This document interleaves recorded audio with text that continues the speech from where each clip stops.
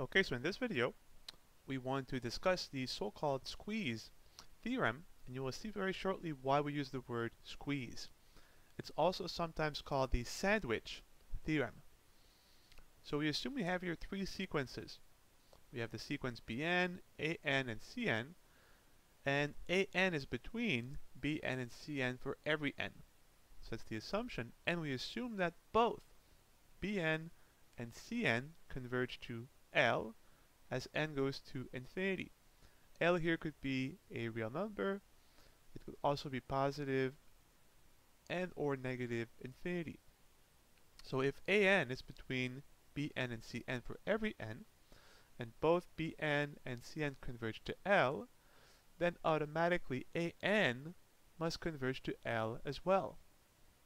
And let's see why this is a very intuitive result. So here, let's visualize our three sequences and L, if we assume that for now L is a real number, along the real line.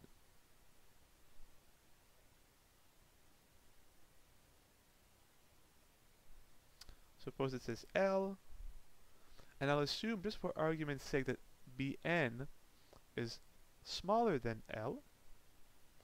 This will simplify the argument, and that Cn is larger than L.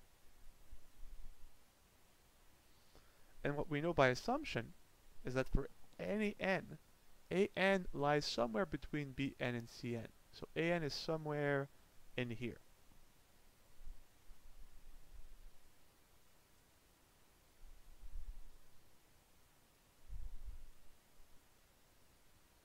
We don't know exactly, but it's somewhere in here. Now think of why an will have to converge to L as well. Imagine that the point where Bn is is a wall, and imagine the same for the point where Cn is for any n. So you have two walls, and imagine yourself, you're trapped between these two walls. Now, as n gets bigger and bigger, both Bn and Cn are getting closer and closer to L, so the wall on the left is getting closer and closer and closer to L, and the wall on the right is getting closer and closer and closer to L as well. So, if you're trapped between these two walls by Bn and Cn, and both of these walls are getting closer and closer and closer to L as n goes to infinity. And if you're a n, you have nowhere to go but in the limit, you get squeezed exactly at L. And that's why the conclusion is that an must converge must converge to L as well because it gets squeezed between Bn and Cn right onto L and that's the intuition. Now for us, almost always, L will end up being either 0 or positive infinity. So this is worth mentioning.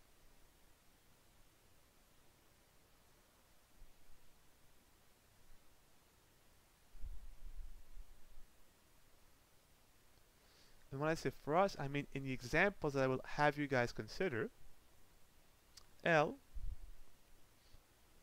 will almost always, if not always,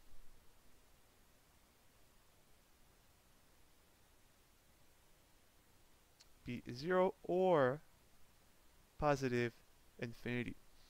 So let me give you two examples of the squeeze theorem, where in the one case L will be 0, in the other L will be infinity. And you will see from our knowledge of a hierarchy of functions, just by looking at the limit, we will know right away whether we have 0 or infinity.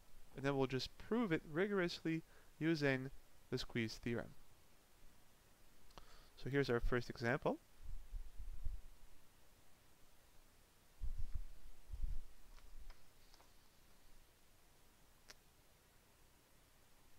Suppose we looked at the limit as n goes to infinity of 2 to the n over n factorial.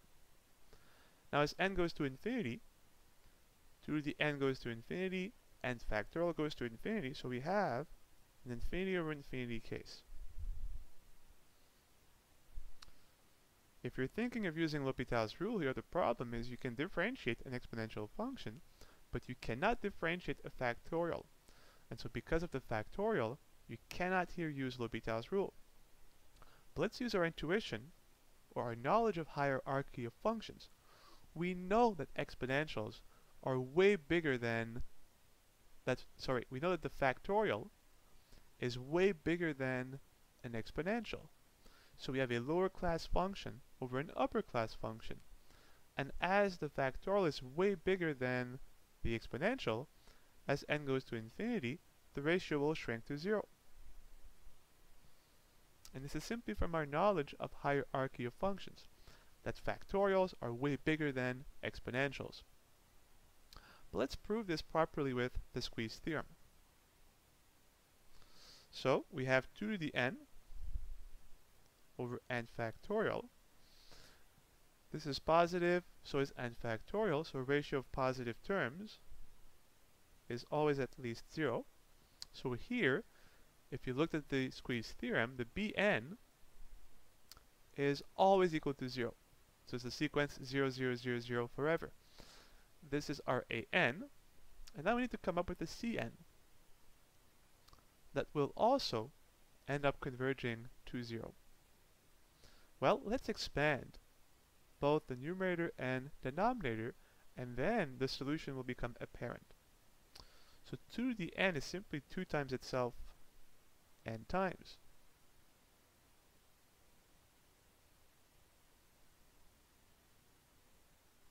So there's n terms on the numerator, and we'll also have n terms on the denominator as n factorial is the product of the first n integers. So 1 times 2 times 3, 4, 5, all the way up to n. Now what's interesting here is the following observation. If you look, starting here, 2 over 2 is 1, 2 over 3 is less than 1, 2 over 4 is less than 1, up to 2 over n minus 1, which is also less than 1. So every single term in the middle is no bigger than 1. And if you multiply real numbers that are all less than 1, the product can only be smaller than 1. So in the end, the whole expression will be at most 2 over 1, which is 2, times, we now replace the middle part by 1 as 1 is larger than our middle product, times the last term, which is 2 over n. And if we simplify, we're left with 4 over n. And this is now our Cn. And if you think of it, well now the result is trivial. For every n, 2 to the n over n factorial is between 0 and 4 over n. So as n goes to infinity, well 0 is always 0, so it converges to 0.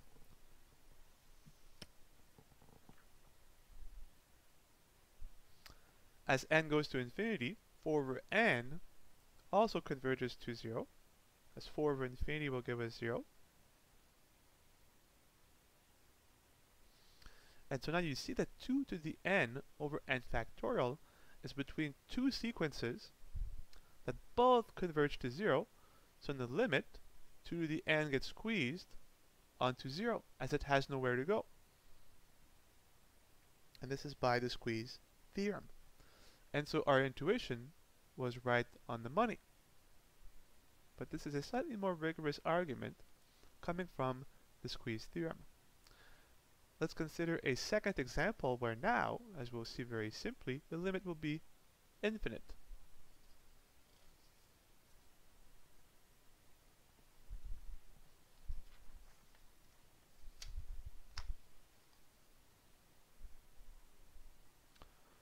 So what if we look at the limit as n goes to positive infinity of now n factorial over ln of n. Again, as n goes to infinity, both terms go to positive infinity. We have an infinity over infinity case. We can't use L'Hopital's rule as we can't differentiate n factorial.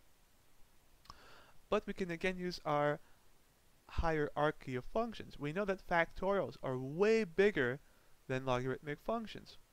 So even though we have an infinity over infinity case here, our numerator is so much bigger than denominator that the limit should blow up to positive infinity.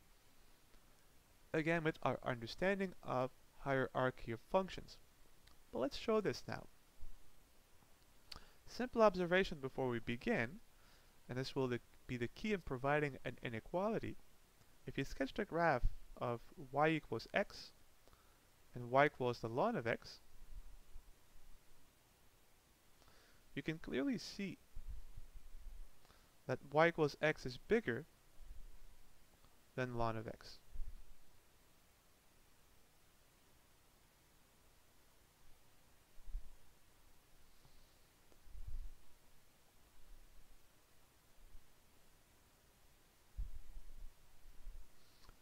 And we're thinking again of y equals x and y equals ln of x when x is large, as we're letting here n go to infinity. And so if you do then the ln of x divided by x, this will be smaller than 1. Or if you prefer, if you go the opposite direction, invert both sides, and divide by ln of x, actually this is what we'll be using, and I'll say just ignore this, my mistake, divide by ln of x, Again, when x is large, both are positive. x is larger than ln of x, divide by ln of x. And x over ln of x is larger than 1, as x is larger than ln of x. And now again, we'll expand our expression, so n factorial over ln of n. If we expand our numerator, and here I will Start with n and go down to n minus 1, n minus 2 all the way down to 2 times 1.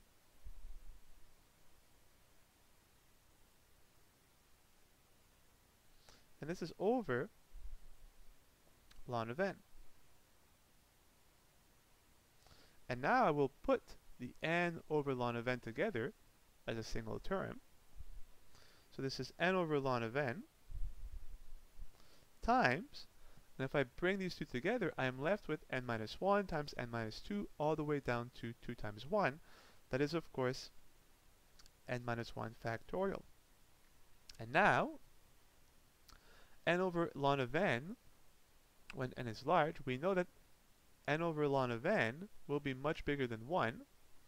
So this is therefore bigger than, this is bigger than 1, so 1 times, and I leave the n minus 1 factorial as is. So what do we have? Well, that n factorial over the ln of n is at least as big as n minus 1 factorial. But we know that as n goes to infinity, this goes to infinity. I mean, if you think of it, if you want to make this even simpler, this is n minus 1 times n minus 2 all the way down to 1. So it's at least as big as the first term, n minus 1, which clearly goes to infinity as n goes to infinity.